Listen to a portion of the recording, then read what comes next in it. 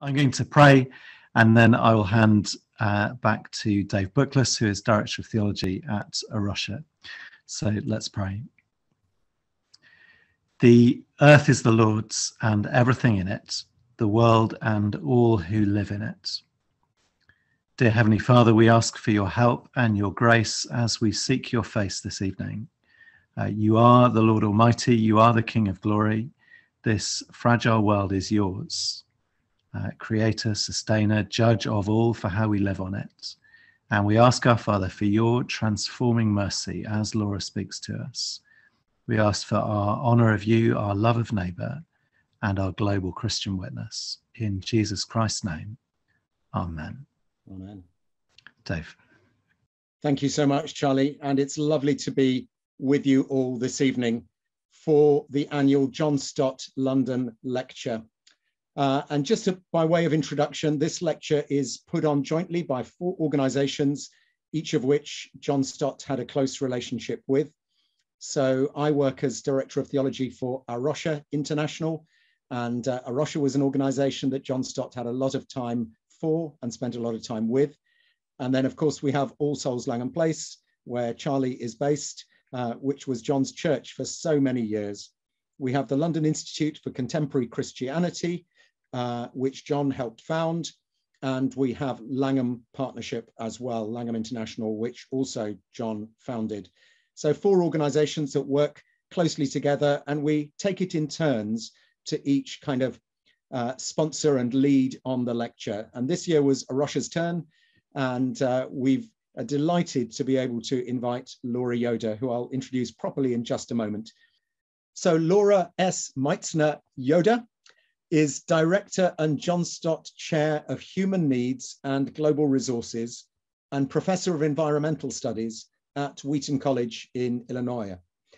Uh, in her student days, she lived in London and worshipped at All Souls Langham Place, sitting with others, sometimes quite literally, at the feet of John Stott in the basement of his flat in Weymouth Street.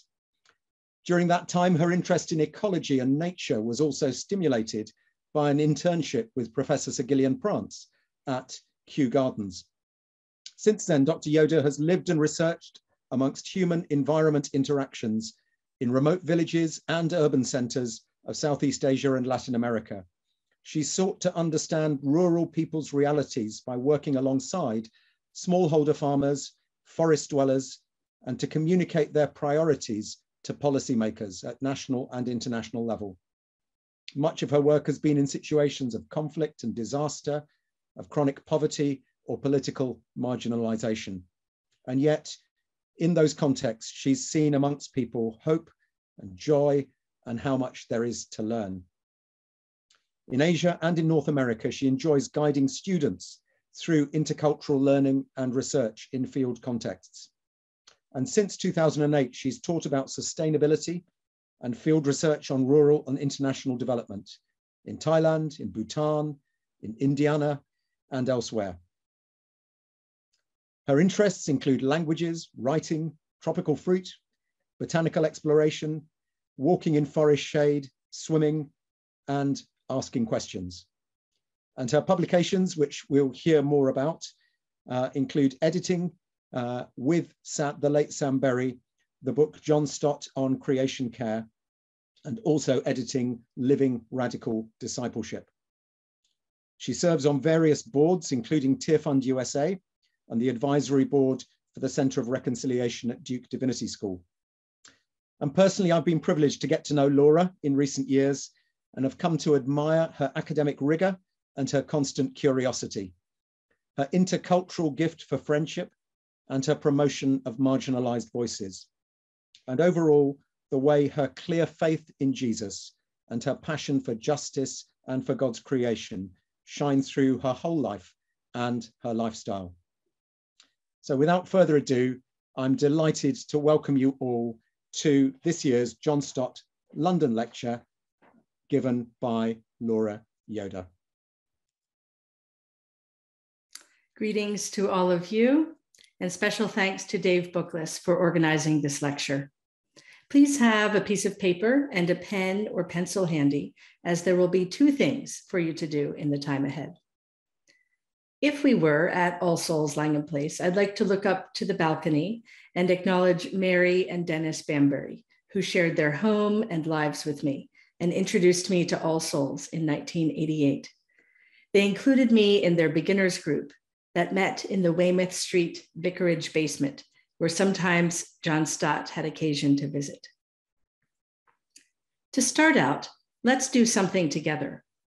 Wherever you are in the world, I invite you to remember an outdoor place that is for you one of the most beautiful and life giving places you know well.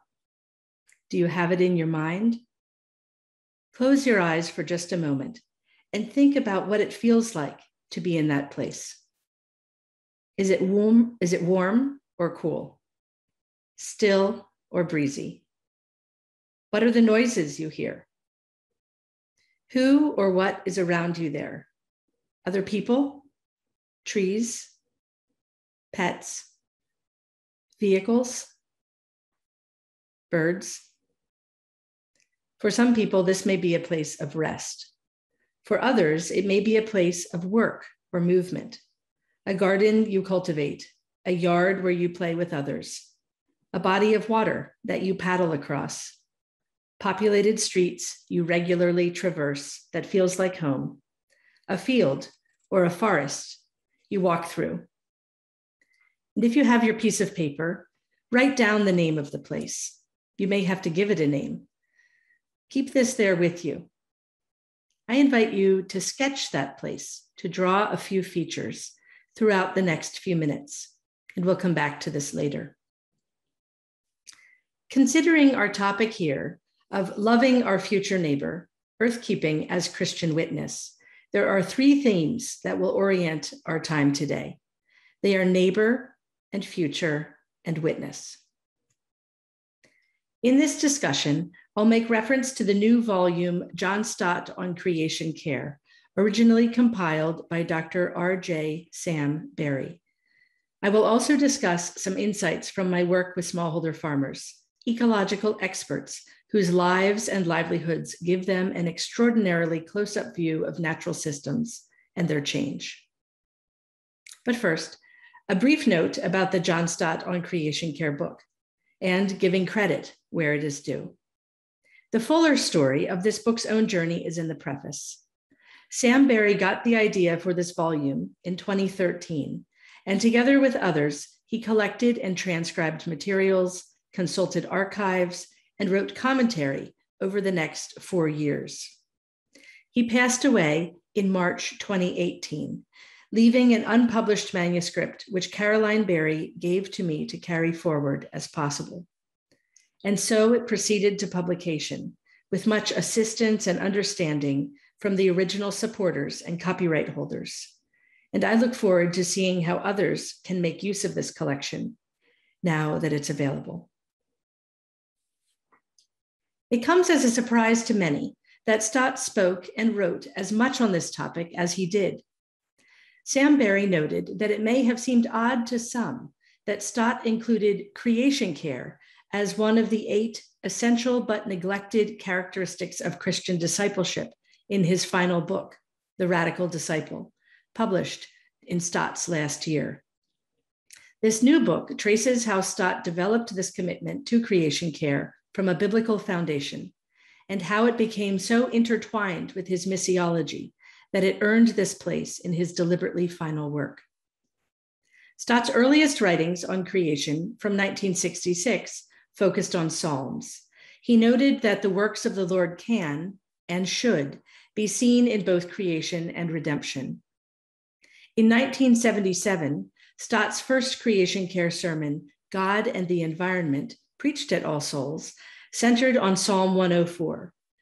It noted that many of us have a good doctrine of salvation and a bad doctrine of creation. Some of us don't have a doctrine of creation at all. We're not interested in the works of the Lord, but we ought to be, he said. A talk prepared for the 2003 InterVarsity Urbana Conference expanded this theme. And I quote Since both creation and redemption are termed the works of Yahweh, it is evident that we should hold them together and not acquiesce in their separation. God's mighty acts in creation and redemption are to be na- made known throughout the world. We are not to be afraid to bear witness to the Creator as well as to the Redeemer. Just as the Apostle Paul did when confronted by the philosophers in Athens, we are to hold together in our evangelistic witness the creation and the cross, the God who made us and who has redeemed us in Jesus Christ. If either is omitted, our gospel has been truncated.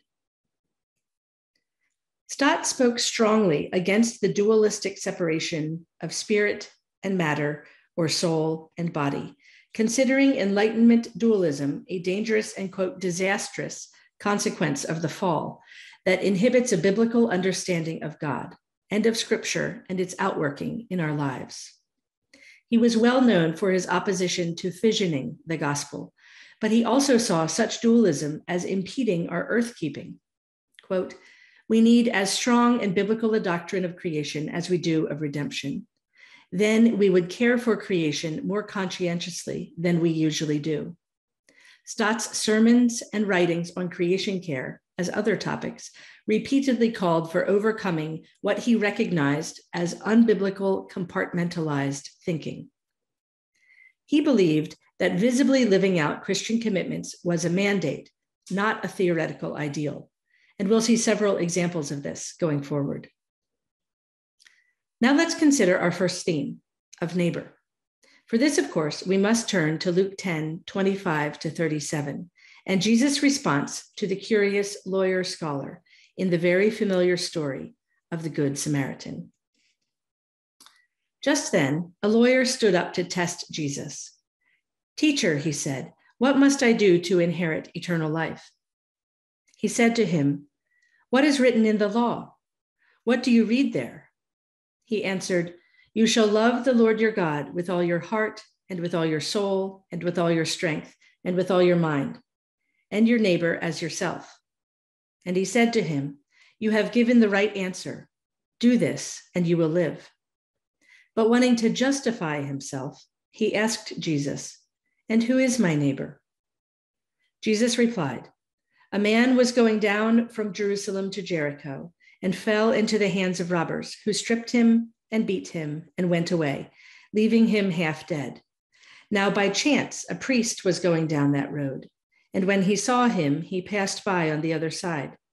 So likewise, a Levite, when he came to the place and saw him, passed by on the other side. But a Samaritan, while traveling, came near him, and when he saw him, he was moved with pity. He went to him and bandaged his wounds, having poured oil and wine on them. Then he put him on his own animal, brought him to an inn, and took care of him. The next day, he took out two denarii, gave them to the innkeeper, and said, Take care of him, and when I come back, I will repay you whatever more you spend.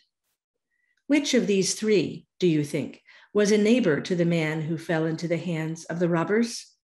He said, The one who showed him mercy. Jesus said to him, Go and do likewise.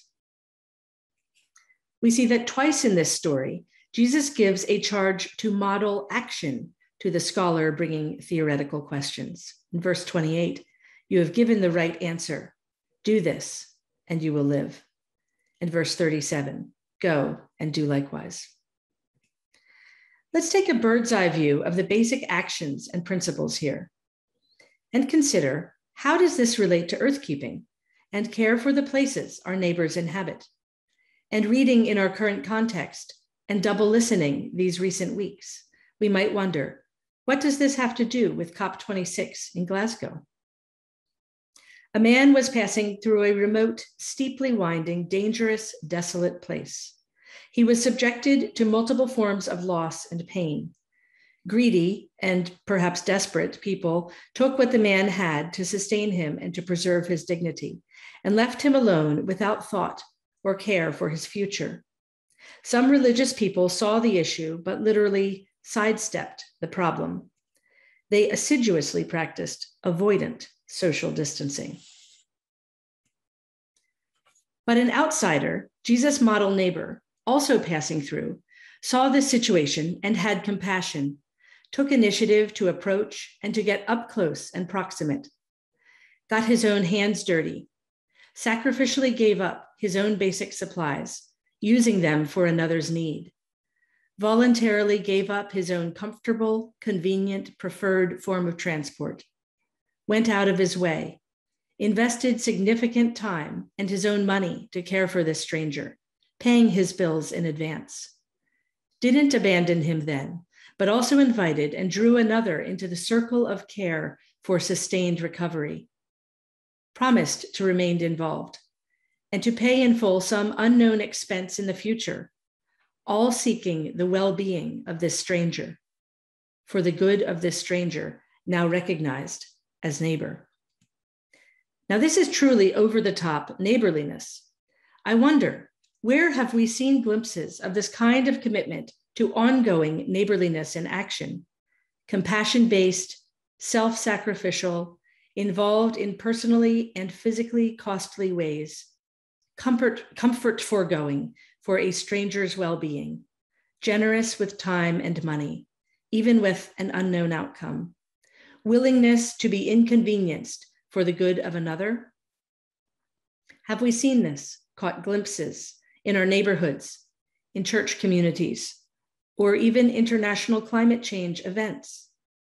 How are neighbors and need connected? Jesus reminds us that true neighbors may be found in unexpected people and places. Let's keep our eyes wide open.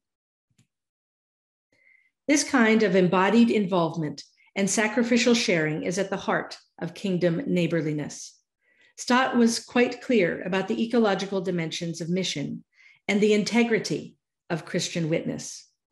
In his 1983 foreword to Under the Bright Wings, the early story of A Rocha, Stott anticipated a question some readers might be asking. And I quote, but can ecological involvement properly be included under the heading of mission? Yes, it can and should. For mission embraces everything Christ sends his people into the world to do service as well as evangelism. And we cannot truly love and serve our neighbors if at the same time we are destroying their environment or acquiescing in its destruction or even ignoring the environmentally depleted circumstances in which so many people are condemned to live.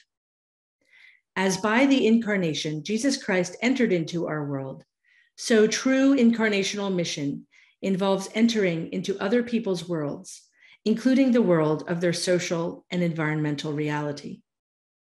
Let's hear Stott clearly on this point that failure to love our neighbors can come in many forms by things done and left undone, active destruction, acquiescence, or turning a blind eye to the visible reality of environmental degradation passing by on the other side of the road. Stott does not let us off the hook, claiming that if we don't know or understand the science, perhaps, therefore we're not responsible for action. He made it his Christian business to learn about natural systems, and he did this as a disciple and church leader in the modern world, not just out of hobby interest in science. True, he was introduced to natural history by his father and he developed a strong personal commitment to birdwatching. His 1977 sermon put it this way God is said in this Psalm 104 to rejoice in his works, so his people ought to rejoice in them also. And I don't hesitate to say that every Christian ought to be interested in natural history. We ought to study nature in order to be able to praise God for his works. We can't worship God adequately if we don't study his works in order to worship him who has created them. In addition to such learning, there is another element to awareness regarding understanding situations in remote areas or distant places that can often go unseen. Much of my work has been with smallholder farmers and forest dwellers in Latin America and Asia who are often in the mountains and far from roads or public services. There are about 500 million smallholder farms of less than two hectares, responsible for the food, income, and nutritional security for 2 billion people. Since many of them intercrop various species to grow food for themselves and to sell, they preserve and create much agricultural biodiversity. Walking around their fields on foot and working with hand tools, they notice changes up close as their lives and livelihoods are directly dependent on the productivity of these particular fields. Ironically, hardworking as they are, smallholder farmers often experience food insecurity. Many practice rain fed or non irrigated agriculture, and they have only precarious access to land with marginal soils. They often endure other everyday forms of marginality, political neglect, and denigration of their knowledge and their work. John Stott often spoke of cooperation with God as the expression of creation care. Smallholder farmers live acutely aware that they depend on God for their daily bread, or rice, or cassava, or maize, or quinoa, or teff, or barley, or plantains, or sago. Because of their circumstances, smallholder farmers are particularly vulnerable to multiple climate change effects. In talking with farmers, they nearly always talk in detail about one thing nowadays. It's a priority we all have in common. I think you can probably guess what it is water. Too little, too much at the wrong times, too erratic or unpredictable, responsible for flooding and landslides, and massive erosion that undoes their ongoing efforts to improve their soils. Rainfall has shifted seasons, and intense storms destroy crops and homes with more severity and frequency. Droughts that used to occur one year every two decades are now extended across multiple years in a row. And the future feels ever closer. People in many regions remark about their annual 100 year floods. Intervals between crop failures due to drought or catastrophic storms do not permit past patterns of recovery before the next storm hits. Here's a typical field for a dryland area where rainfall is unpredictable. This farmer selected this land at the river's edge for use in this season and is preparing it for planting before the rains are expected. She will plant the field using a pointed dibble stick to make holes for each individual seed. You can see here some of the risks she is taking to be close to the water. What if the river overflows its channel and washes the field away? This area also has very unstable soils, and landslides from the cliff above this field are frequent, especially in the rainy season. Those with enough power or social connections or wealth to access safer land elsewhere need not take these risks. Many remote places are at high risk of food insecurity. In our second year of living in Timor, a typhoon came through just a few weeks before the annual maize harvest, flattening and burying nearly all the crop plants under mud. This storm also felled many tamarind trees where many children gathered their own food. They ate the rock hard seeds we throw away, as well as the sour coating normally used. Walking between mountain villages, I saw the skin of a cow stretched out across a small road, held in place with rocks. I wondered aloud how this hide would be used. My village companions looked at me quizzically. What a strange question. Well, of course, they said, this leather was being prepared for use in the hungry season when it would be cut and boiled together with grass and salt and chili peppers to make a broth that people would drink during the months of waiting for the harvest to be ready. Life in this place is made much more tenuous by climate change. Smallholder farmers worldwide talk at length other everyday concerns that they have in a changing climate.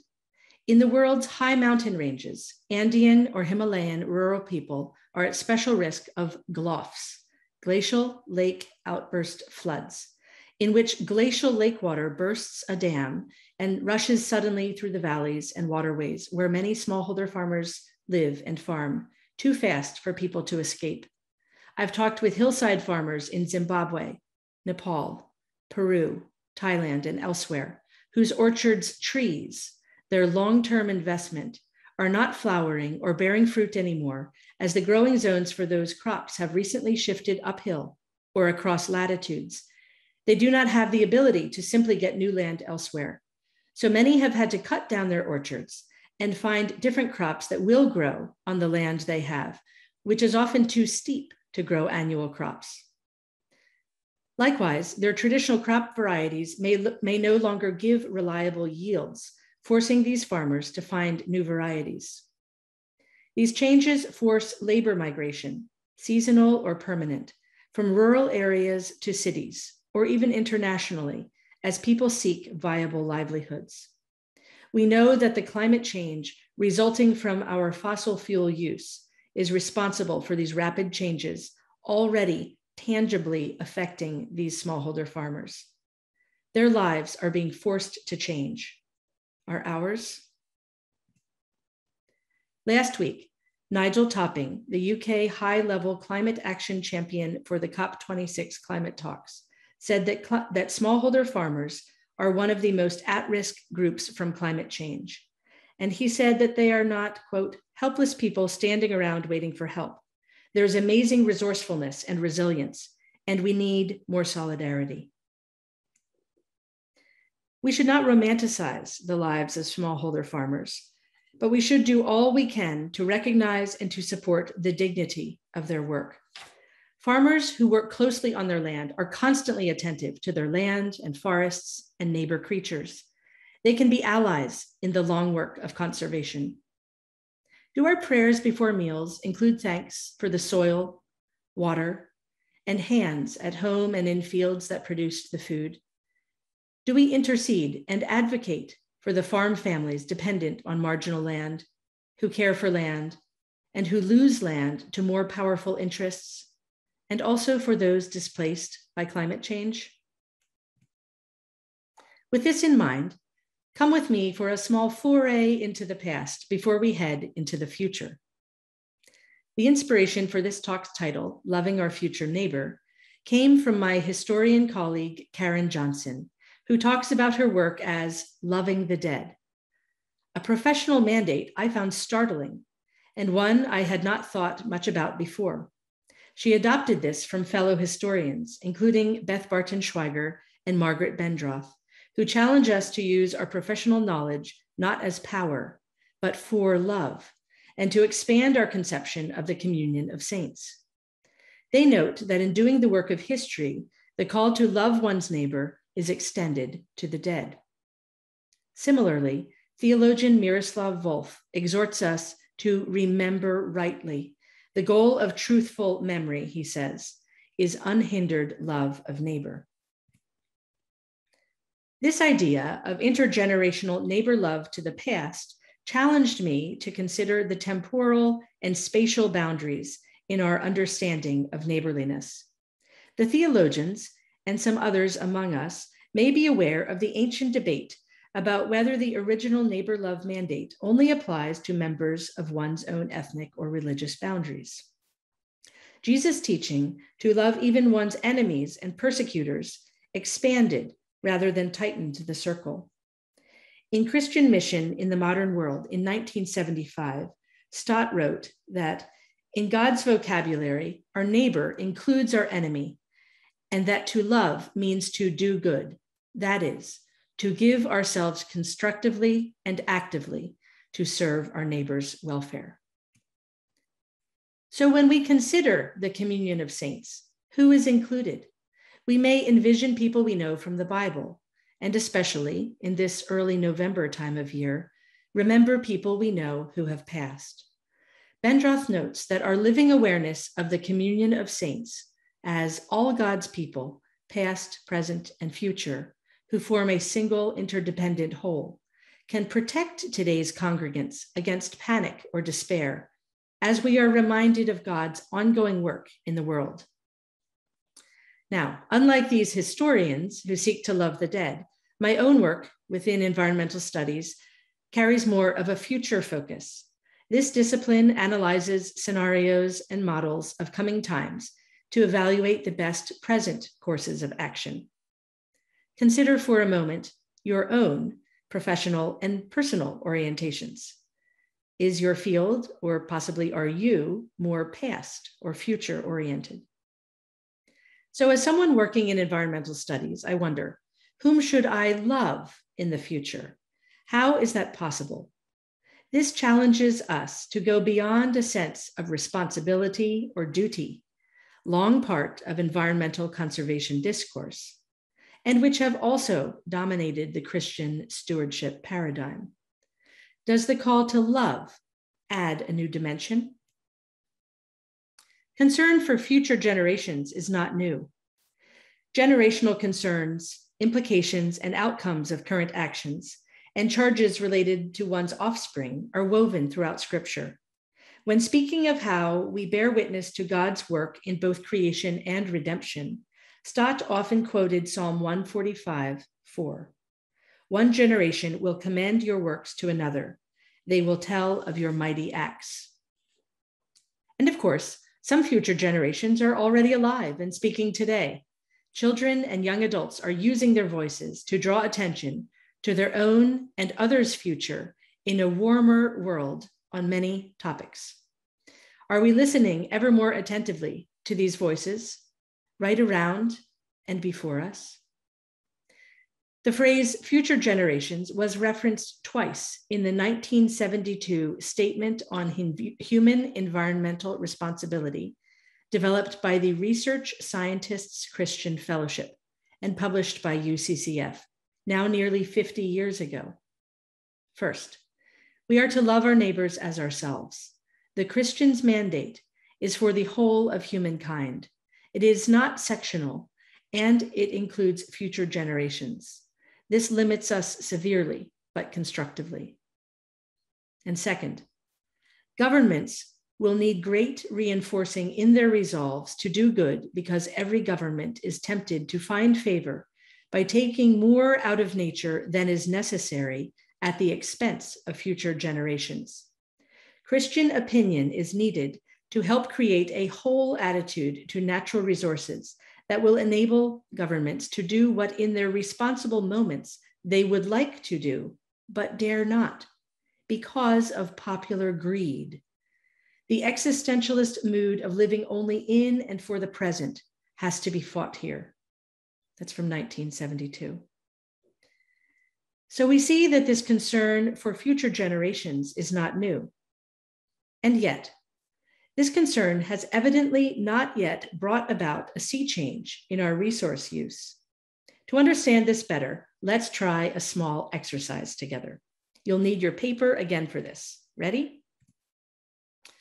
Okay, so here is a list of people and animals and places. Take a moment to look at the list. And here are the instructions. We're going to prioritize the 15 things on this list for ourselves. Using the letters, kindly order them regarding your own sense of care for each item. Arrange them from most care to least care. This exercise may seem difficult or unfair. Well, I'm sorry, we're going to try it anyway. So this is for yourself. Be honest.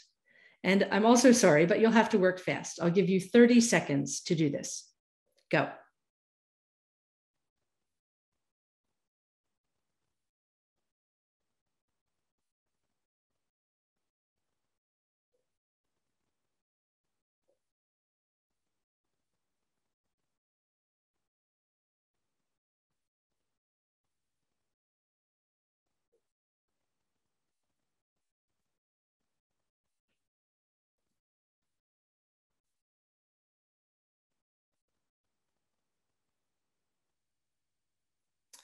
So, who is our neighbor?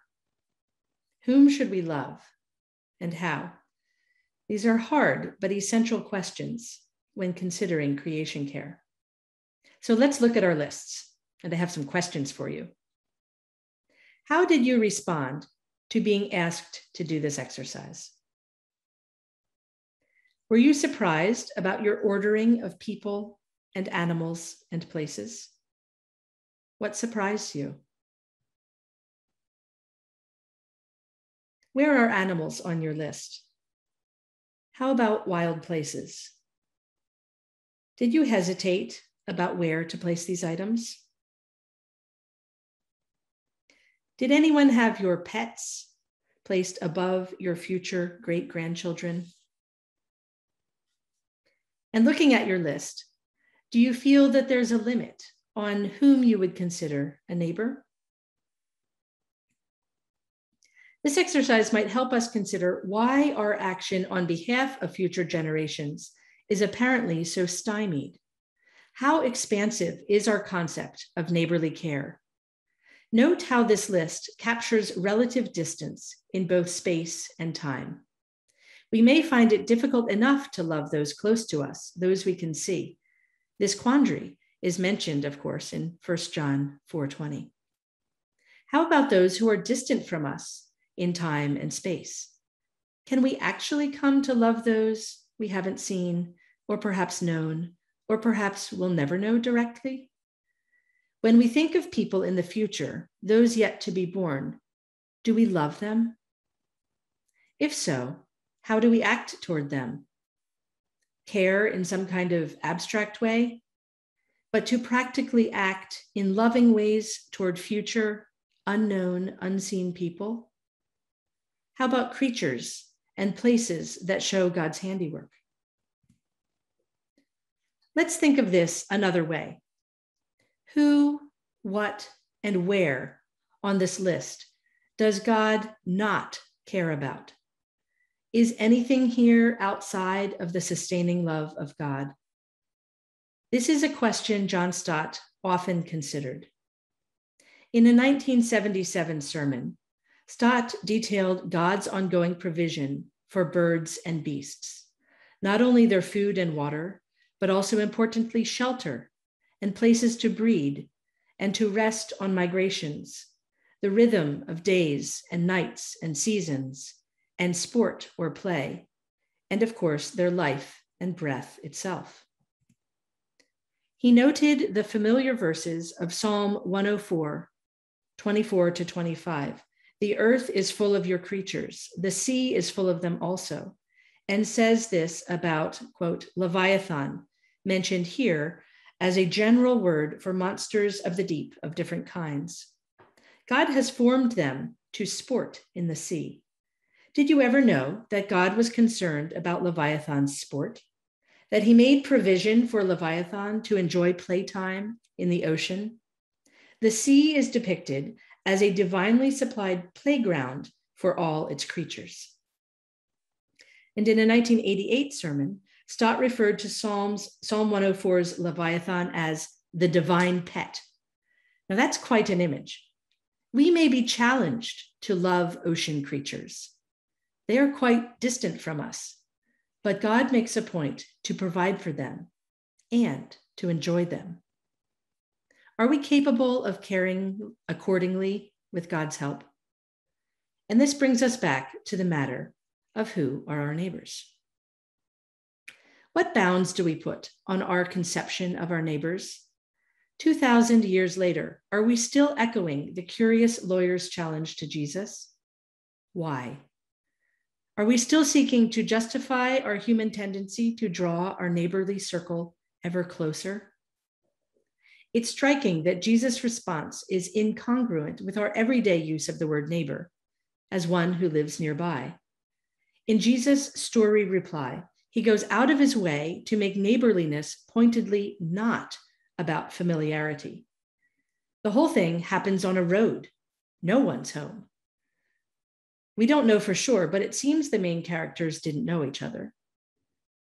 Care is given in a traveler's inn, perhaps one of several along the steep 25 kilometer road between Jerusalem and Jericho. The Samaritan was the epitome of the socially distant to Jesus' hearers. So, what good is the nearby, the familiar, and the commonplace understanding of neighbor then? Well, let's move to discuss witness. I want to share with you a conversation I've been mulling over since it happened a decade ago in Bhutan. My environmental studies students and I met the National Spiritual Ecology Advisor, a highly educated Bhutanese scholar who advises the government on spiritual aspects of environmental policy. He framed the central modern dilemma he faces like this Environmental protection is one of Bhutan's top national priorities. When most people were rural peasant farmers and believed in spiritual consequences of wrongdoing in animistic fashion, our conservation was easy and straightforward.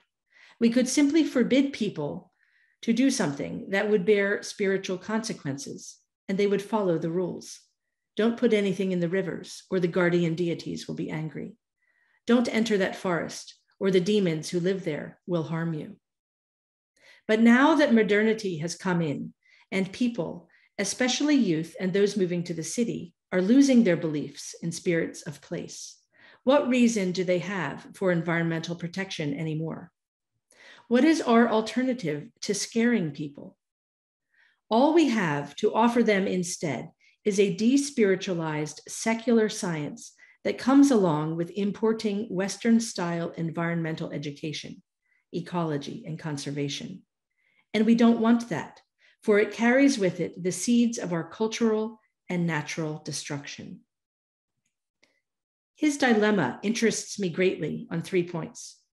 First, I wonder how many Christians feel a similar tension or disconnect between their faith and despiritualized environmental action, and so shy away from learning about the natural world, missing these windows to knowing God as creator and to worshiping God for the intricacy and beauty of life? Second, doesn't this suggest an open space where Christians could be in conversation with people asking such questions worldwide as we seek to articulate and to live out a robust creation care ethic?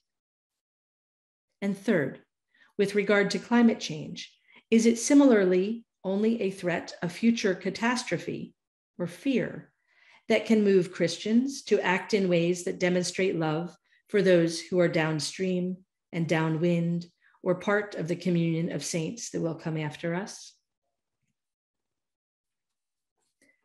What does our care of creation have to do with the lived out nature of Christian witness? Scripture makes it clear that for a very long time indeed, God has been deeply concerned with how God's people use and relate to the natural world as part and parcel of their care for others' well being. The Old Testament is replete with examples. We see this in Ezekiel 34 18. Is it not enough for you to enjoy God's provision of food and water without destroying it for others? Or Leviticus and Deuteronomy's charges to enact limits on our own consumption of agricultural produce in order to care for the needy and foreign gleaners.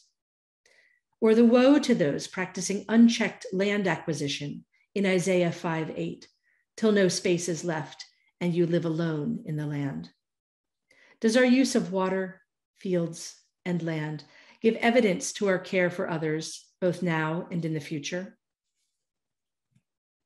Again, what does our care of creation have to do with the lived out nature of Christian witness? Stott often gave this simple reason God intends our care of creation to reflect our love for the Creator. As above, Stott clearly recognized that harming people's environments, both actively through overconsumption and passively through inaction when they are harmed, is a failure to love our neighbor. In his book, Issues Facing Christians Today, in 2006, Stott noted that Christians have a distinctive contribution to make to ecological action in the public sphere, because acknowledging God as creator and looking forward to the day when it is made new give us an appropriate respect for the earth, indeed, for the whole material creation, since God both made it and will remake it. In consequence, we must learn to think and act ecologically. We repent of extravagance, pollution, and wanton destruction. Here, we see Stott's connection of creation care with a second of his neglected but essential characteristics in his final book, The Radical Disciple. His chapter on simplicity points us toward the 1980 International Consultation on Simple Lifestyle, that Stott co convened with Ron Sider. We see that these two creation care, and simplicity are bound together. Simple lifestyle is where neighbor love and witness come together. The 1980 consultation on simple lifestyle invited people from different contexts, wealthy and poorer nations, to discuss this complex, conflictual, and deeply felt issue. Sound familiar? Paragraph 9 of the 1974 Lausanne Covenant had stated Those of us who live in affluent circumstances accept our duty to develop a simple lifestyle in order to contribute more generously to both relief and evangelism.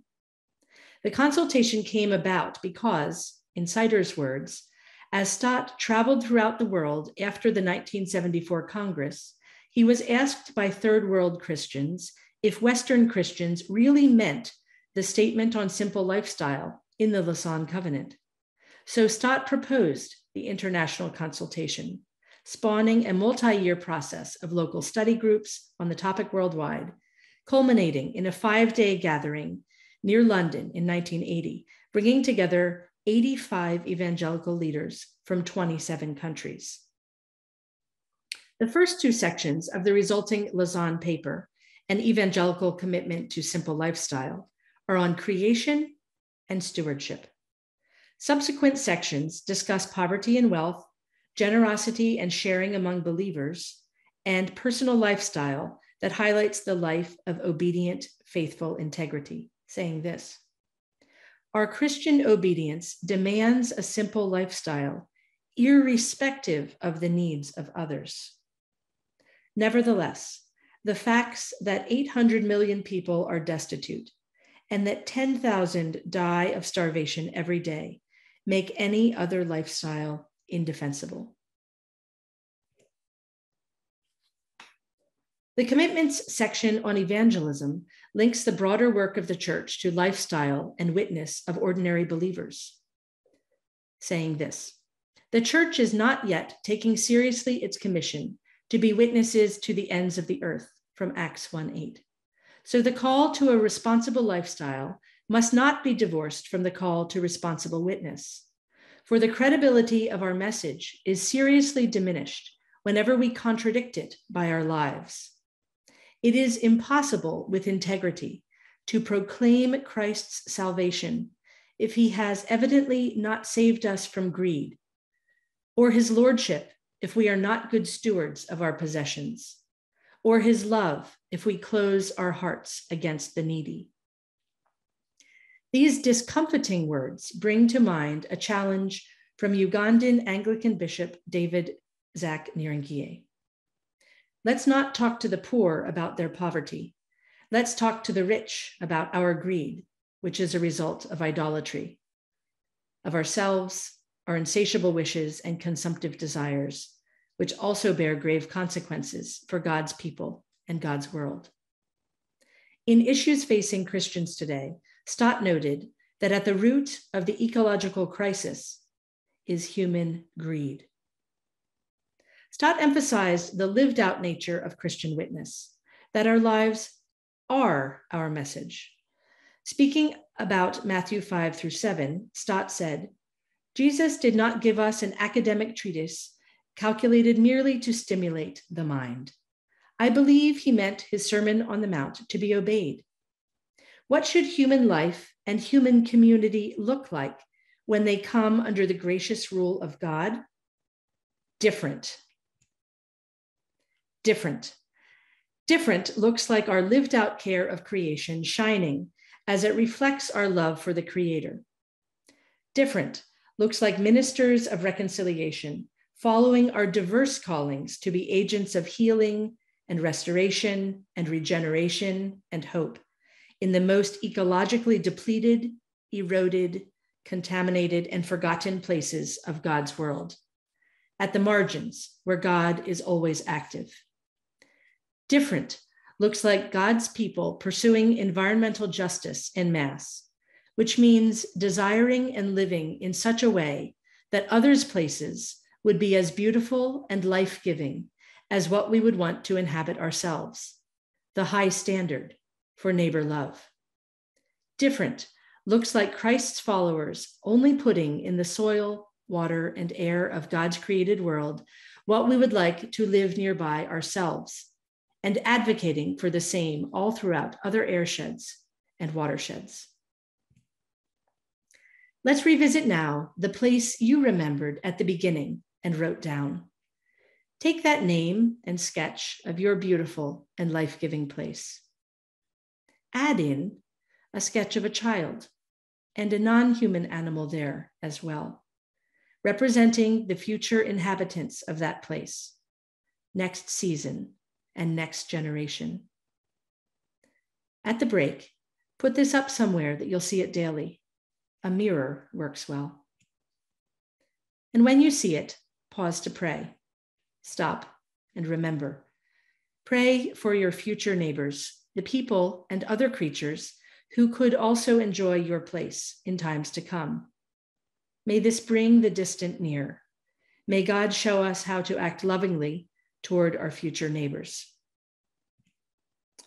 Friends, COP26 concludes tomorrow, the 26th almost annual event. So during this one generation of COPs, the future from the first one in 1995 has now become the present, with measurable impacts of climate change more evident on so many fronts. In 2006, Stott noted that, quote, the environment has, once again, become an important agenda item at world summits.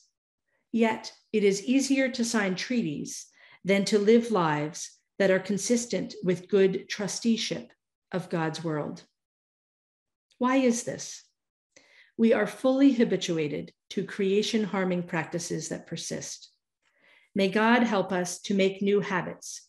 And in the words of Tearfund USA's Emily Sarmiento, to build the new ruts we want to stay in. We might start by learning from the Baptist churches in Burma, who have each member plant a tree every June 1st. And then in the service, members stand before the congregation to share about the current health and status of all their trees planted on previous June 1sts.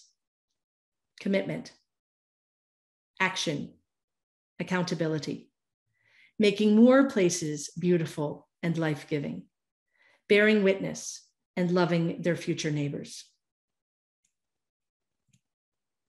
I would like to conclude by sharing with you one of my favorite indoor places in Wheaton, which is standing right in front of this mosaic, the luminous one. This depicts Jesus' conversation with another Samaritan, an encounter that transforms her into a carrier of the good news. The mosaic is made of over 63,000 tesserae of glass, ceramic, and stone set deep into wet mortar. At the mosaic's dedication, artist Leah Samuelson said that this process is a tangible reminder that the mosaic of our life is just like that, forms, formed by tens of thousands of pieces, carefully chosen and deliberately placed. The mortar hardens.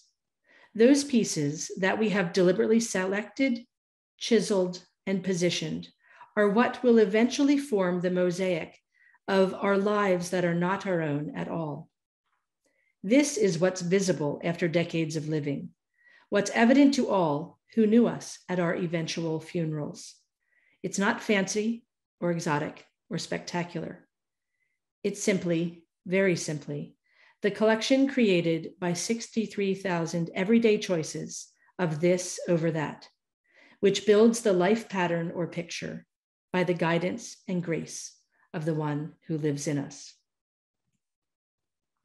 Lives of faithfulness are not big, splashy events.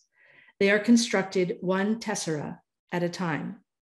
Or, as Ruth Valerio says, many little steps in the right direction, bearing witness in ways that reflect love for our Creator and demonstrate love for our neighbors, near and far, current and future. And let's conclude with this prayer written by John Stott. Almighty God, you created the planet Earth. You make peace and you love justice. Give your own concern for the environment to those who are destroying it, your peace to the violent places of the world, and your justice to the deprived and the oppressed. And show us what we can do to forward your purposes of love through Jesus Christ our Lord. Amen. Laura, thank you so much for that lecture. Thank you for everything that you've shared with us there. And um, I think we've got Thomas Creedy with us from IVP. Uh, Thomas, I'm going to invite you to uh, switch on your, your camera and uh, turn on your mic and to tell us a little bit about um, the book. Excellent. Thank you very much. Um, and thanks again to Laura for, for trusting us at IVP with this project. Um, it's probably the largest book I've worked on. It's definitely got the longest list of references. Um, and it quotes from or references 41 out of 66 books of the Bible, um, with Revelation featuring quite highly uh, for the question on the on the end times. This is a, a book and a topic and a theme which actually Revelation speaks to a lot. Um, and I should say, almost almost by way of apology or introduction, we didn't know about COP26, or we, it wasn't really on our radar as a publishing thing when this book kind of arrived with us. Um, but we saw in what Sam had pulled together and what Laura had kind of finessed and what Stott was saying this prophetic foresight that Chris Wright um, talks about in his kind of commendations. And so we thought, well, it's it in some ways it's a strange thing to publish. We've got loads of fantastic books on uh, creation care and living simply. We've got Stott's The Radical Disciple. We've got Dave Bookless's books. His surname is a misnomer, and they're very good too. Um, but we saw this as a book we could publish as part of the Stott centenary celebrations to do something a bit different. So one of the things that I loved um, as an editor, kind of reading through this, is this theme of not domination but dominion. This idea of stewardship. This idea of planetary gardening, as Ruth Padilla DeBorst writes um, in her kind of afterword to the book, and it's something that's really important to get. We need to use the right words when we're talking about this sort of thing, and that's something that Stott does beautifully. Um, and and Sam and Laura kind of trace his development from well, I think it's important to this is really, really, really important. Um, and that also changed the way we produce the book. Uh, so if you could show us the next slide again, uh, Dave, that'd be brilliant. Um, this is a little bit sad and a little bit nerdy, but it shows what we hope um, is is some kind of obedience. So in in the inside of the book, it says this book is 100% recyclable. So you can literally put it in your recycling bin. Um, please don't. Please, please buy it and read it, um, preferably outside. Uh, but please buy it and read it. Um, and don't put it in your recycling bin. But when you're done with it, or if it really offends you, you can do that. Um, even down to things like the ink. I was sent just the cover uh, because it turns out that we'd not done a cover that was fully recyclable before, um, and our art director was very worried that the color was, colors would run. Um, so if you want to end up buying the hardback, you are buying, I think, IVP's first 100% recyclable book, which may be the first Christian recyclable book, but don't quote me on that. Um, whereas if you buy the ebook, you save a lot of money, uh, a little bit of shelf space, and that's the final slide that I should point out to you is that um, we've got a bit of a kind of a launch offer going on at the moment. If you head to ivpbooks.com, probably should have put the link on there, but there we go, ivpbooks.com, um, and you find it. The hardback is 14.99, normally 20 pounds. It's how many pages is it? Should say there. Oh, it doesn't say there. It's about 320 pages, um, and it is it is a nice little nice little size. Uh, whereas the ebook is 50% off with that code, um, which will expire soon. And yeah, I would say this makes a gift for two kinds of people over Christmas. One is preachers who are maybe going, "Gosh, the uh, the COP has happened, and now I need to care about creation care, and I don't know what the Bible says." Well, 41 of the 66 books of, of, of scripture that we have are quoted in this and referenced deeply. And so it could be a really good tool for a preacher who's maybe panicking slightly. And the other um, people it would be a good gift for would be those who are a bit skeptical or wary of this crazy environmentalism, um, which which you know even John Stott apparently. And I love um, a quote from one of the people who read it before we published it.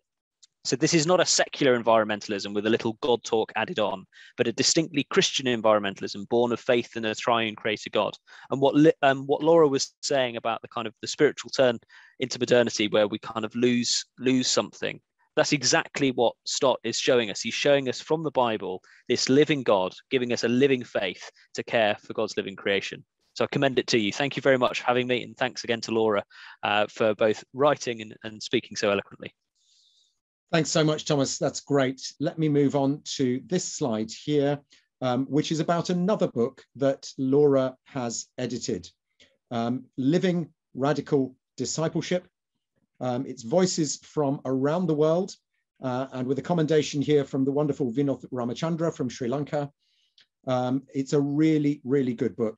Now, we have a whole bunch of questions, Laura, and we're sadly not going to be able to go through all of them tonight. Um, but let me start with one that's very topical, um, which was asked. I think there are one or two questions that refer to this, but I think Chris Horn probably asked the first one here uh, about COP26. Um, let me just find that question. At this moment, through COP26, how hopeful are you about the next steps for the climate and the issues we especially see in vulnerable communities? Great. What a good and timely question, as you note. And uh, Dave, maybe after I've said just a few words, maybe you can give some insights because you were actually there um, from, from what you had. Um, just a, a, few things occurred to me um, with this uh, great question. One is just like the 1980 International Consultation on Simple Lifestyle, one of the things I appreciate about um, COP and, and this COP26 in particular um, is the visibility, uh, creating a, a, forum for um, understanding realities of people in remote places.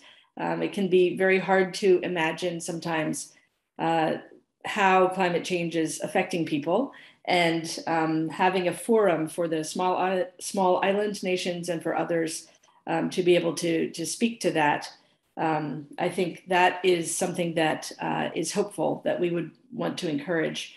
Um, and I can also see ways that perhaps people who um, would have been following COP26 may have taken this up as, as new interest. And one of the hopes that I have is that um, churches all around the world would connect with other churches to have conversations about, um, about these topics. So, um, what would it look like if a church in uh, in London or in Glasgow or in Wheaton or um, somewhere in France were to connect with churches uh, in the small island nations or um, with those throughout Africa, maybe through their um, uh, denominational connections or their diocese or something, uh, or maybe through organizations that will connect churches. Tearfund does that a lot, for example. Um, but if they were to have conversations um, through different groups, uh, youth to youth, women to women, elderly, um, intergenerational kinds of conversations about um, the impact that climate change is having on the places where they are. It's not only in um, the majority world or global south, but of course, those in, in Europe can speak to that as well. Um, and to understand the realities in industrialized settings, in agrarian settings, um, geographically, generationally, socioeconomically, politically, spiritually, of course, and uh, to be able to to have those conversations. I hope that's one of the things that can be spawned from these kinds of um, interactions. So I'm, I'm, hopeful for that. Also, that the um, increasing recognition and acknowledgement and maybe um, public awareness of uh, the causes of climate change um, can be ever um, spreading and growing and uh, that that may be something also brought into churches um, for, for prayer as well. So recognizing, of course, that this is not easy. One of the things about spending so much time with things from past years and commitments from past years is just this recognition that things are not easy or solved overnight. Um, but that is where um, the church is the institution that is there for the long haul in all of the places where we are. And uh, that would be something where we can pick up when um, a big conference ends, the church will still be there next Sunday and next Sunday and next Sunday. So, what are the ways um, that we can uh, continue that work? But Dave, you were there um, at COP26 yourself. So, um, any insights? I was there briefly, yes, last weekend, and I've been in constant contact with sort of dozens of uh, WhatsApp messages coming in every hour, it seems, from the groups who are up there. And yes, I mean, there are masses of Christians there in Glasgow taking part in discussions, both around the fringes and some right at the heart of the negotiations as well. And I think one of the things I found most encouraging there was that one or two organizations such as Tearfund and the Renew Our World Coalition, and you showed a slide about them, had importantly brought over people from India, Panama, Malawi, and elsewhere so that we were hearing direct about the impacts that climate change is having on our sisters and brothers around the world now. The other thing I found so encouraging, and I think this is quite a change, certainly within the UK, is the way in which young people have become so seriously uh, and passionately engaged on this issue.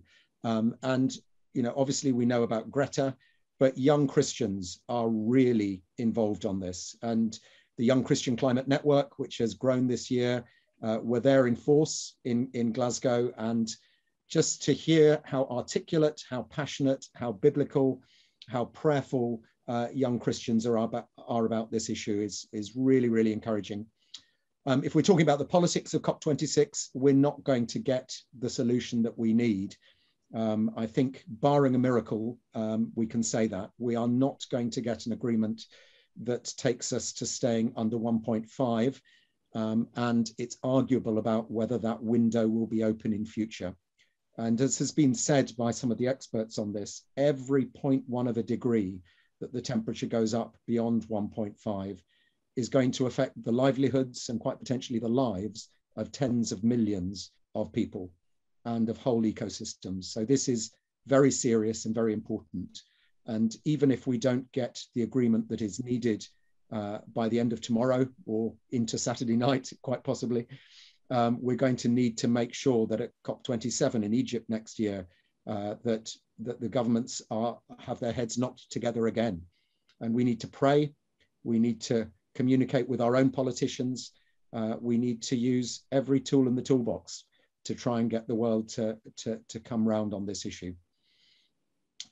So that was one of the questions. We've got so many here. Um, one that I know you found fascinating as, as you and I were just chatting about the questions, Laura, is this one about, I think it was, I can't remember who asked it now, um, but it was about whether this is an area that's fruitful for interfaith work, that uh, creation care, you know, all those who believe in a, here we are, Rod McCrory's question, creation care seems to be one of the highest common concerns of different faith traditions.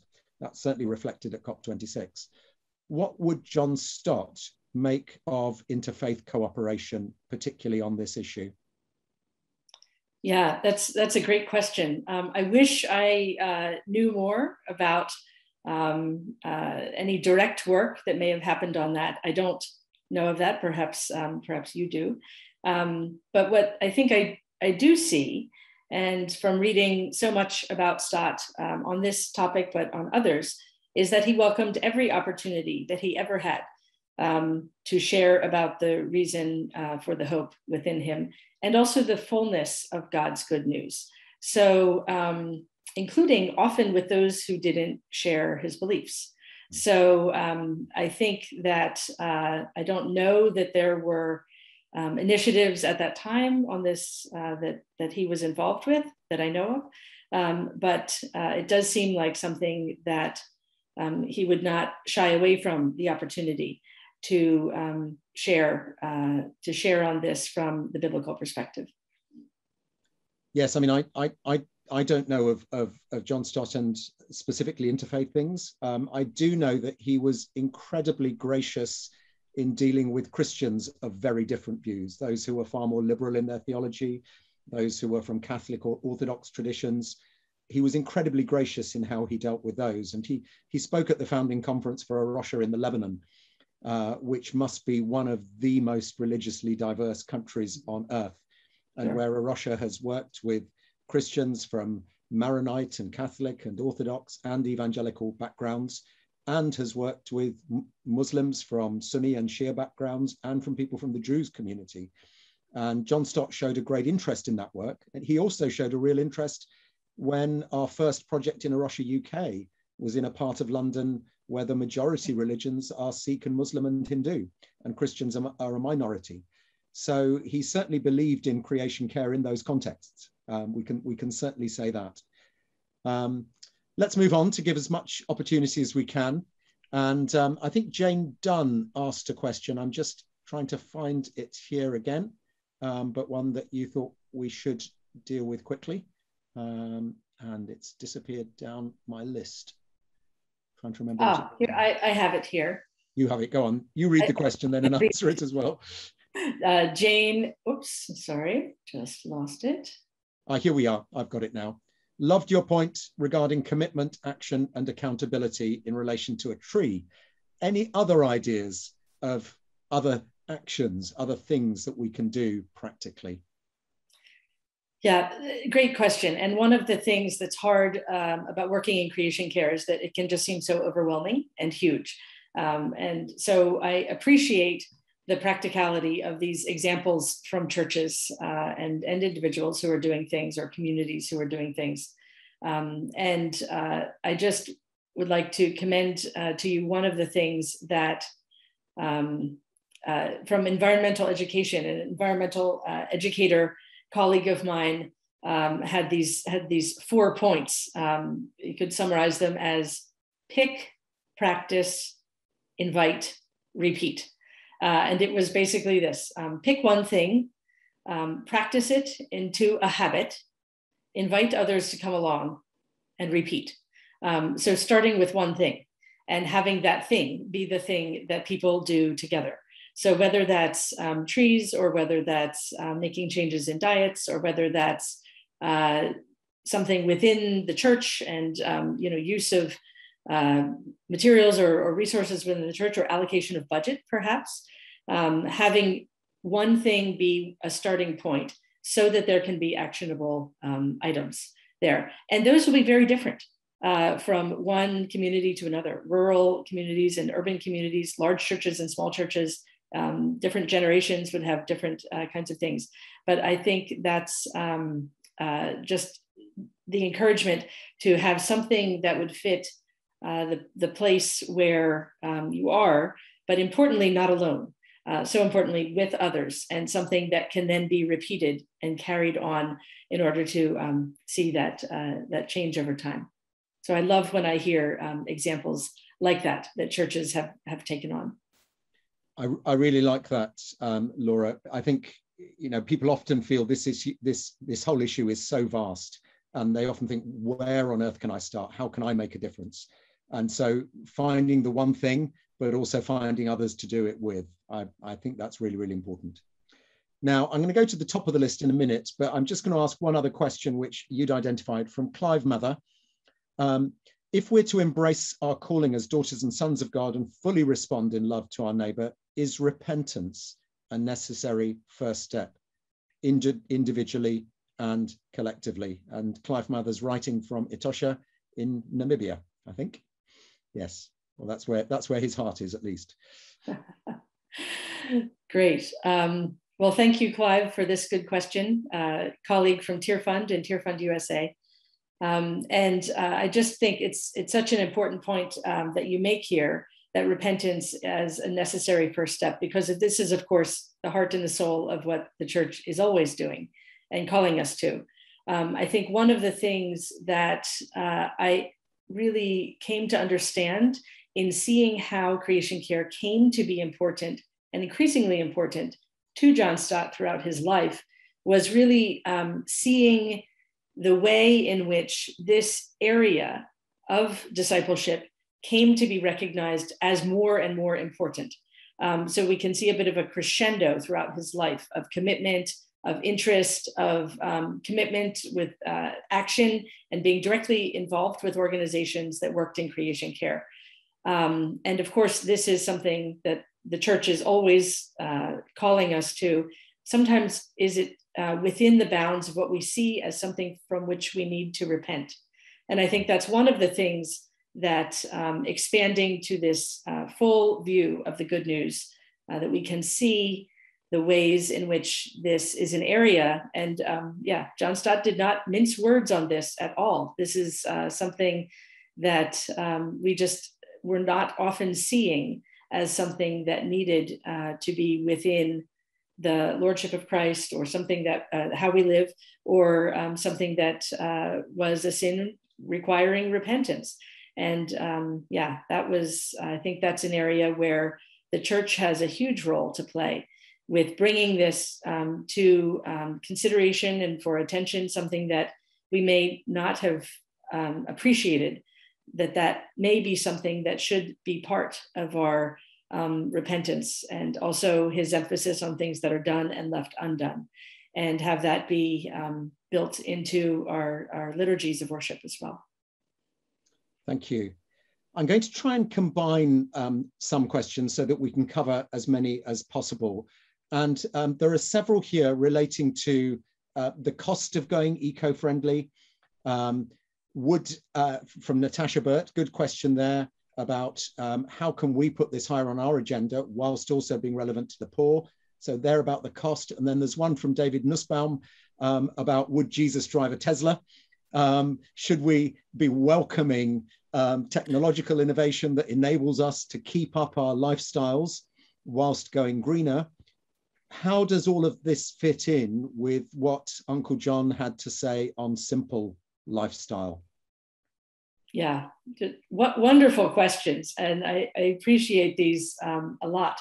Uh, one of the things that really has been striking to me in um, working on issues of sustainability that people are facing is often it seems to be at two ends of the spectrum. If I think sometimes of who uh, eats organic food, for example, it would seem to be those, um, the smallholder farmers that I work with who are growing their own food and would not financially be um, affording pesticides. So they are eating locally grown organic food. And then at the other end of the spectrum, those who would be uh, importing that or, or being able to access that, which would often in our current economy um, carry these higher costs. And uh, so you, we have this kind of split over um, who uh, can be living in these ways. As churches um, uh, put this higher on their agenda, I also wonder whether um, this would be one of the things that as churches talk to each other across um, north and south or east and west or different kinds of uh, geographic areas to have um, ideas from the church in another place of what uh, recommendations are there things that they are doing that another church could also be doing together um, in order to what are some things that they are doing for example um, to um, relate to the needs directly in the place uh, where they are so for example are there ways that um, the spending can uh, be sharing of resources with others uh, in their local communities that may also um, uh, have other benefits for, for people in other places. So having that be um, one of the ways that uh, the church can always be engaging the people right, um, right in the area where they are. To the Tesla question, um, this is a great question. If John Stott were still alive and hiring a car to drive on a birdwatching holiday, uh, would he would he rent a Tesla? Uh, that's a great thought question. I know that he took taxis sometimes. I don't know that he ever owned a car of his own. Um, he also walked a lot, so maybe bicycles are in the mix. Um, and I think uh, looking at um, the uh, range of innovations that um, are are coming in are always things to be following. I know um, just last night, actually, I was at a lecture with um, a congressperson here from our local district who said, uh, you know, that soon the day is coming when the overall cost for electric cars uh, would be lower. And at that point, um, the debates will uh, go away about um, using them. So um, I think, uh, yeah, having um, uh, people involved in working in science, uh, on the issues of uh, batteries and uh, the technologies is a really important area also um, for Christians to be engaged. Can I just push you a tiny bit further, Laura? This isn't one of the questions here, although it relates to them, um, about how possible it is to live a simple life in the midst of our Western consumer uh, economic growth is the great idol cultures. Um, and and do feel free to share personally. I've you know I've, I've I've got a friend who's stayed with you and who's told me about how you grow vegetables in your garden, how you visit thrift shops to to buy clothing wherever possible. Um, how do we resist the the pull, the gravitational pull of just more, more, more stuff that we don't need, stuff that's bad for us, stuff that's destroying the planet, stuff that destroys our relationships. How do we live simpler lifestyles in the midst of, of what we're surrounded by? Hmm. Yeah, so many different ways. And I think it's definitely not something done uh, individually, um, something that is done in community. Even just the examples that you give of so many people who garden, we learn gardening from and with others, and we can do that together with others. And also, uh, thrift stores wouldn't exist if people didn't share.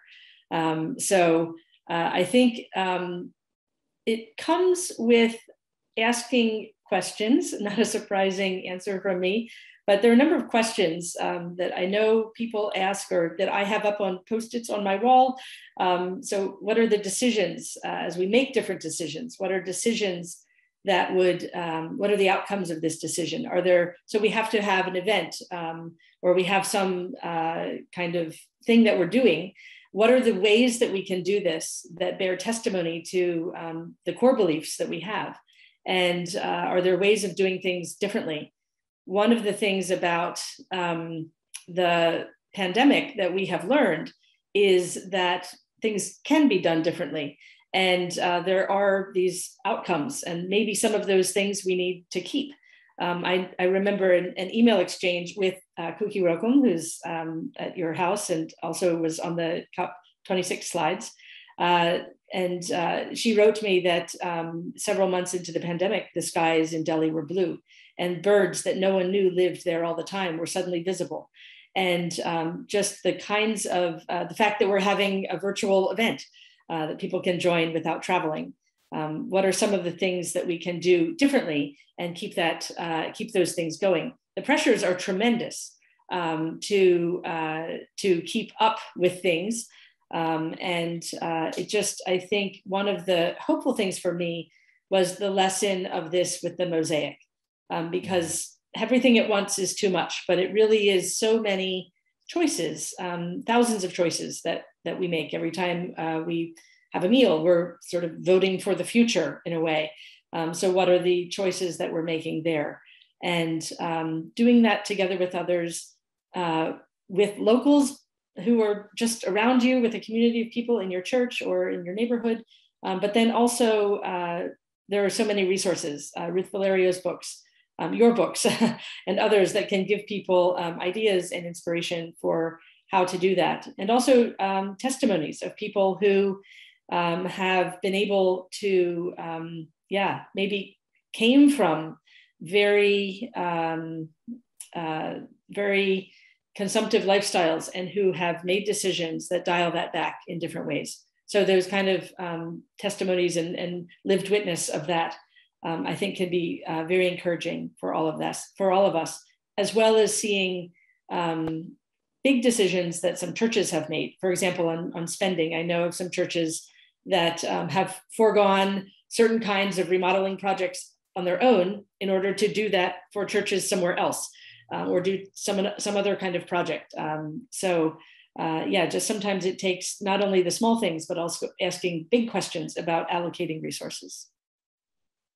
Thank you. Now we're, we're running short on time, but I want to get through uh, two or three more questions if I can.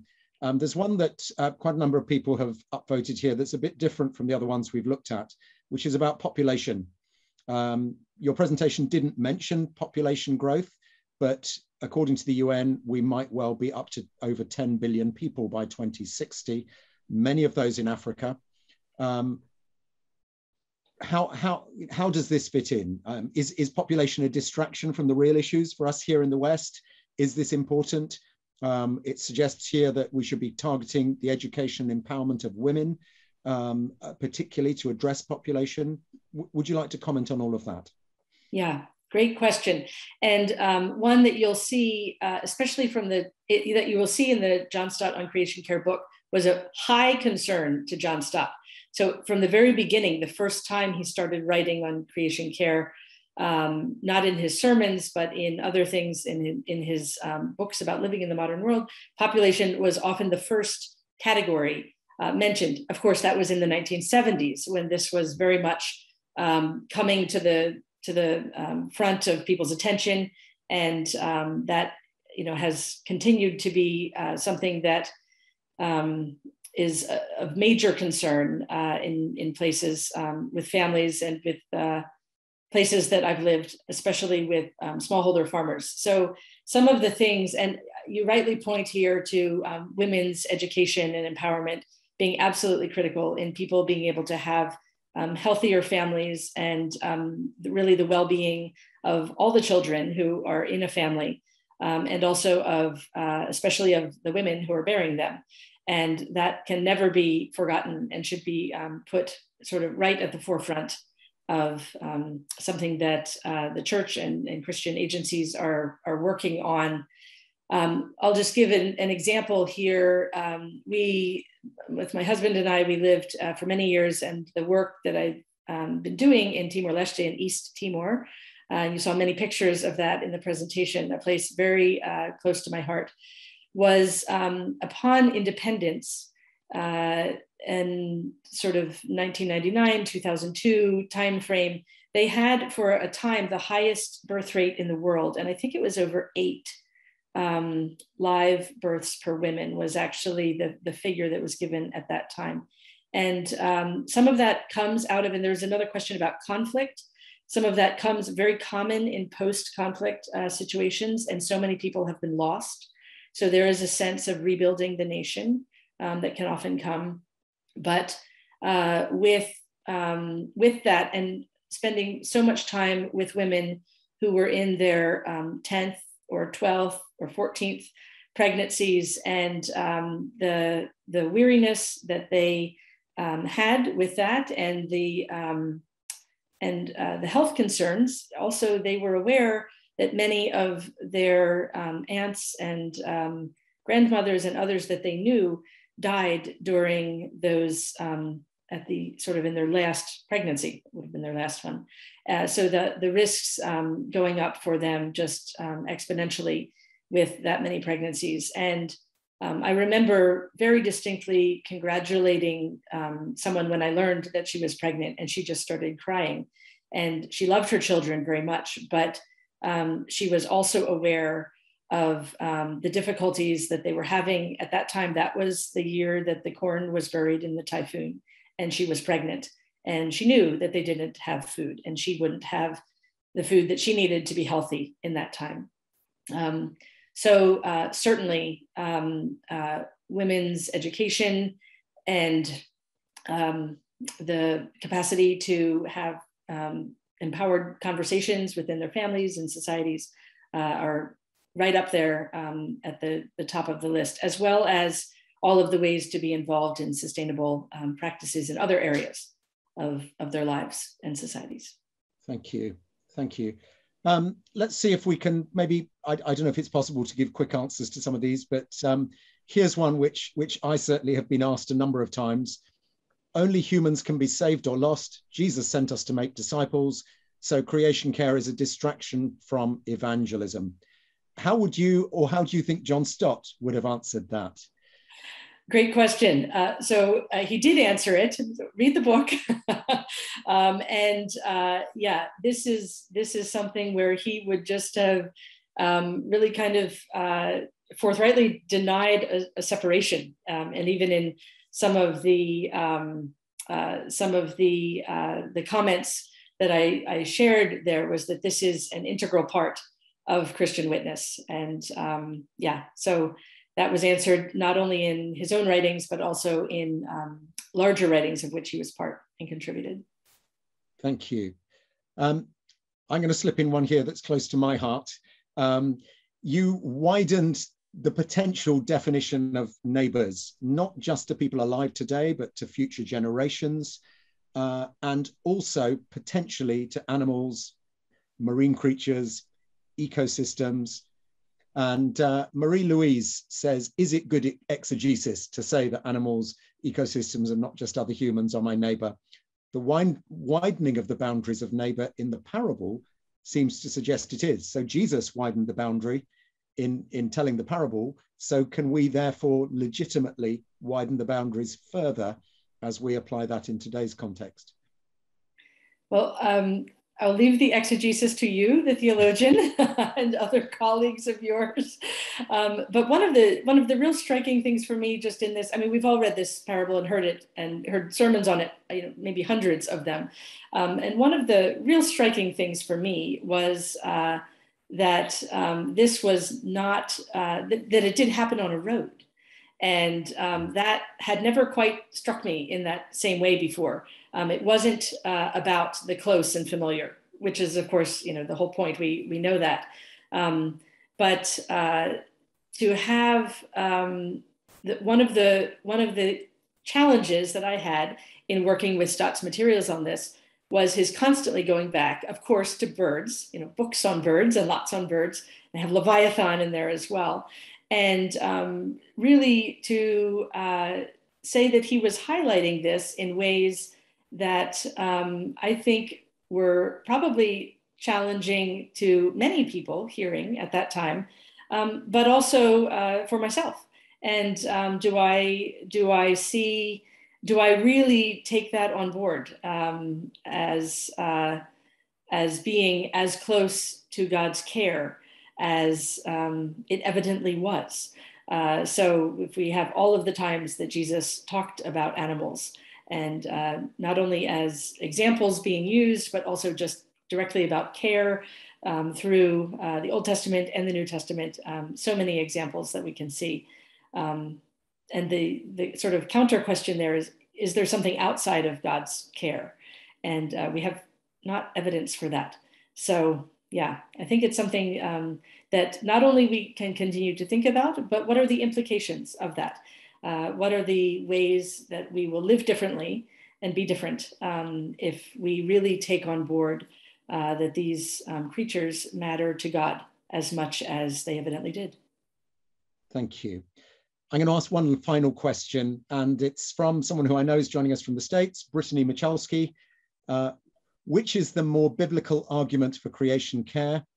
Care for creation because it does good for current and future neighbors, especially humans, or care for creation because it belongs to and is for Jesus. Assuming they're equally biblical, why is it that the anthropocentric, the people centered arguments seem to be the more compelling? What a great question. not an easy one, um, but not to give too long of an answer here. Um, I think these are these two sides that you've, you've summarized uh, so well, Brittany. Thank you for the question. Um, and uh, one of the things that interests me is in the Stott materials, he would often refer to both. Um, that these are uh, that the care of uh, care of creation should reflect our love for the Creator, and that simple statement was one he came back to over and over and over again. So um, while uh, we definitely also have, as I've mentioned and is evident throughout all of Scripture, um, that uh, care for others is there, um, I wonder whether we have not, um, whether the kind of duty and responsibility and care for others, uh, that end of the duty and responsibility have not been compelling us enough to action and that may be why we see that we are where we are. Um, so it may be that uh, we really do need to revisit the um, care for creation uh, mandate as reflecting our love for the creator. And um, is that insufficient? Is that something we really need to take seriously? And if we would see um, environmental harm that we do or things that we fail to um, intervene on, uh, if we would see that as a failure to love God and take that um, to heart as seriously as that, then um, would it be somehow compelling us in a different way? Um, I wonder whether the duty and responsibility is not sufficient to drive to action. And this is where really the um, reminder of love uh, comes back and this call to love, um, which is uh, what we know of for God and for neighbor. Um, maybe the duty and responsibility isn't uh, isn't kind of really what we're called to do um, in its in that sort of um, very bounded way. but uh, love would overflow that. And duty and responsibility is maybe the low bar. Love goes so far above that and beyond that. And do we take that seriously? So if we were to ask ourselves every day, um, is this action or are, are these sets of decisions um, expressing love in practical and tangible ways uh, for God and for others?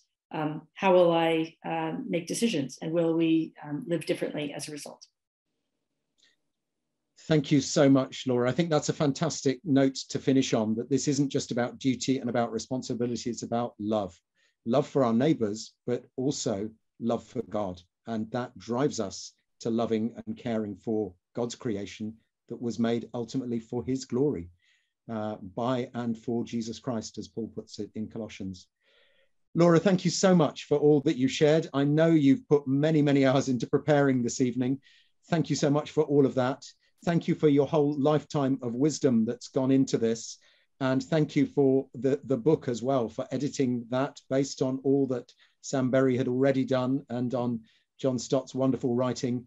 Um, I think there's there's plenty here, not just for this evening, but to carry us a lot further. And I really hope these conversations will be able to continue uh, in all sorts of ways in our churches, in the communities where we are, and uh, I'm sure online as well.